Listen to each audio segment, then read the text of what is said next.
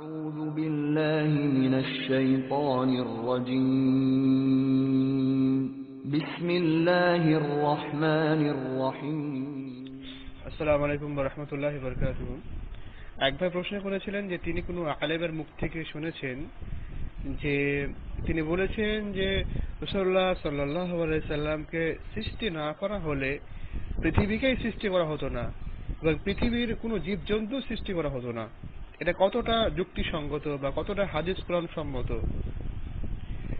এটা একটা প্রসিদ্ধ মিথ্যাচার যেটা আমাদের সমাজে প্রচলিত রয়েছে এবং এই সম্পর্কে কিছু জাল, হাদিসও তৈরি করা হয়েছে এবং কিছু ওলামারা এর পক্ষেও বক্তব্য দিয়েছেন দলিল ছাড়াই।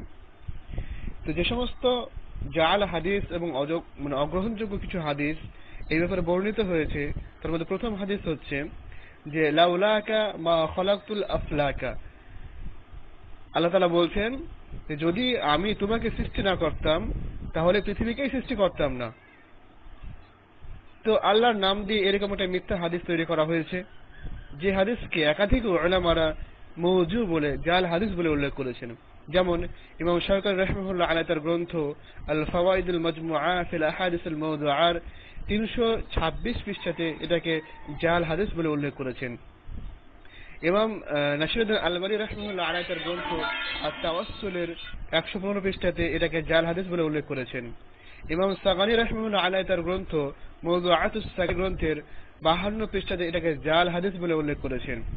মোল্লা আলা, মোল্লা আলী কারি আল হানাফি রহমুল্লাহ আলাই তার গ্রন্থ আল আসরারুল মারফুআ গ্রন্থের তিনি বলেছেন যে এই হাদিসের কোনো ভিত্তি নেই। এই হাদিসের কোনো ভিত্তি নেই, এটা হচ্ছে জাল হাদিস। তারপরে ইমাম রাশিদ আলবানী তার গ্রন্থ আর সিলসাদুল জাইফা গ্রন্থের দুশো বিরাশি পৃষ্ঠাতে এটাকে জাল হাদিস বলে উল্লেখ করেছেন। অনুরূপভাবে ইমাম ইমাম আল জাউজি রহমুল্লাহ আলাহ তার গ্রন্থ মৌজু আত ইবনুল জাউজি গ্রন্থের দ্বিতীয় খণ্ডের আঠারো পৃষ্ঠাতে এটাকে বলেছেন তিনি যে মৌজু আইন বেলা শাক্কিন এই হাদিসটা এই হাদিসটা যে জাল, এই ব্যাপারে কোনো সন্দেহ নাই। অর্থাৎ নিঃসন্দেহে এই হাদিসটা একটা জাল হাদিস। অনুরূপভাবে আর একটা বর্ণনা পাওয়া যায় এই ব্যাপারে যে আল্লাহ তাআলা বলছেন, ঈসা আলাইহিস সালামকে সম্বোধন করে যে আউহাল্লাহু ইলা ঈসা আলাইহিস সালাম। আল্লাহ তাআলা ঈসাকে সম্বোধন করে বলছেন যে, ইয়া ঈসা, হে ঈসা, আমিন বি মুহাম্মাদিন তুমি মুহাম্মদ ওয়াসাল্লামের উপরে ঈমান নিয়ে এসো। ওয়া আমুর মান আদরাকাহু মিন উম্মাতিকা।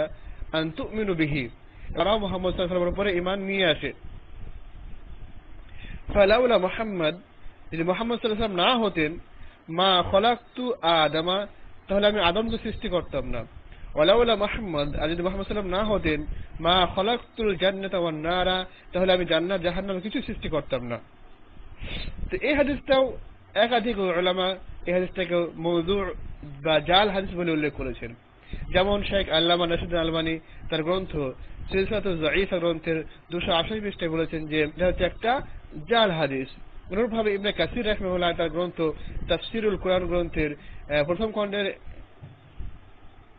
একশো নয় পৃষ্ঠাতে বলেছেন যে, এটা হচ্ছে একটা ইসরায়েলি রেওয়ায়ত। এটা হচ্ছে একটা ইসরায়েলি রেওয়ায়ত। ইসরায়েলি রেওয়ায়ত বলতে বোঝানো হয় যে, যেরকম বাইবেল গীতাতে কিছু বর্ণনা পাওয়া যায়।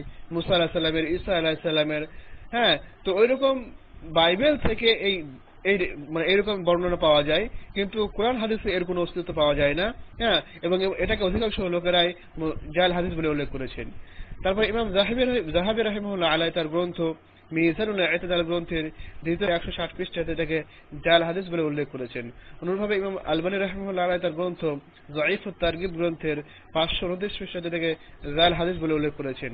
তারপরে ইমাম রকাইলি রাহমুল্লাহ আলাই তার গ্রন্থ আজফাউল কাবির গ্রন্থের তৃতীয় খণ্ডের চারশো সাতাত্তর পৃষ্ঠাতে তিনি বলেছেন যে এই হাদিস এই হাদিসের মধ্যে কাসেম আবু আব্দুর রহমান বলে একজন রাবি রয়েছে। তার ব্যাপারে আহমদ ইমাম আহমদ বলেছেন যে এই হাদিস, এ হচ্ছে একটা জাল রাবি এবং এই হাদিসের মধ্যে অনেক হাদিস বিরোধী এবং ইসলাম বিরোধী কথা রয়েছে। সেজন্য এই হাদিসটা হচ্ছে যত হাদিস বর্ণিত হয়েছে সবগুলো জাল হাদিস, মানুষ তৈরি করে বর্ণনা করছে, এর কোনো অস্তিত্ব নেই এবং সমস্ত হাদিসগুলোকে ওলামারা জাল হাদিস বলে উল্লেখ করেছেন। এই ব্যাপারে অনেক ওলামা মানে বড় বড় ওলামারা মন্তব্য পেশ করেছেন। তো তাত্ত্বিক আলেম শেখুল ইসলাম ইবনে তাইমা রহমুল্লাহ আলের মন্তব্যটা আমি তুলে ধরবো। তিনি বলেছেন যে নিঃসন্দেহে রসুল্লাহ সাল্লাহ সাল্লাম হচ্ছেন যে মানব কুলের সব থেকে শ্রেষ্ঠ মানুষ এবং আদম সাল্লাহ সাল্লামের সন্তানের মধ্যে সবচেয়ে উত্তম সন্তান। পৃথিবীতে যত লোক রয়েছে, যত সৃষ্টি রয়েছে, সব থেকে উত্তম সৃষ্টি হচ্ছেন তিনি। এভাবে কোনো সন্দেহ নেই। এই জন্য কিছু মানুষ তার উপরে বাড়াবাড়ি করে একটা হাদিস তৈরি করেছে যে রসুল্লাহ সাল্লামকে সৃষ্টি না করলে পৃথিবীকে সৃষ্টি করা হতো না। তিনি বলছেন যে ওলাকিন হাদিস। রসুল থেকে এরকম কোন হাদিস না সাহি, এমনকি জয়ীফ হাদিস এরকম কোন মানে কুলুহু আহাদুম আহলিল ইলমে, এবং যাদেরকে আমরা ওলামা বলি, আহলে ইলম বলি, জ্ঞানী ব্যক্তি বলি, কোন জ্ঞানী ব্যক্তি এরূপ কোন হাদিস বর্ণনা করেননি। বাল ওয়ালা ইয়ারিফু আনিস সাহাবা, এবং কোন সাহাবা রাদিয়াল্লাহু আনহুম এরকম কোন হাদিস বর্ণনা করেননি। বাল হুয়া কালামুন বরং এটা একটা কথার কথা, লোকেরা বলে থাকে, লা ইয়াদরি যার কায়েল, অর্থাৎ কে বলেছে, তার অস্তিত্ব পাওয়া যায় না। হাদিস তো লোকের মুখে মুখে চলছে, যে এরকম এরকম হাদিস আছে, এরকম হাদিস আছে। কিন্তু হাদিসটা আসলে কে বলেছে বা কার থেকে বর্ণিত, এর কোনো অস্তিত্ব পাওয়া যায় না, কোনো সনদ পাওয়া যায় না।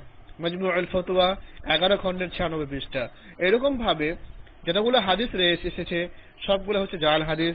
সমস্ত ওলামারা হাদিসগুলোকে জাল বলে উল্লেখ করেছেন এবং অসংখ্য ওলামা এই ব্যাপারে মন্তব্য পেশ করে বলেছেন যে এই ব্যাপারে যত হাদিস রয়েছে, সবগুলো মানুষের কথিত কথা। এই ব্যাপারে রসুলামের এবং সাহাবাদের কোনো কথা প্রমাণিত হয়নি। সেজন্য এটা একটা ভিত্তিহীন কথা। এর উপরে ইমান রাখা অবশ্যই আমাদের জন্য চরম ক্ষতির দিক হবে এবং চরম মূর্খামি হবে। হ্যাঁ? বাকি আসসালামু আলাইকুম রহমতুল্লাহ বরকাতুহ। আহাদা মা ইনদাল্লাহু আলামিস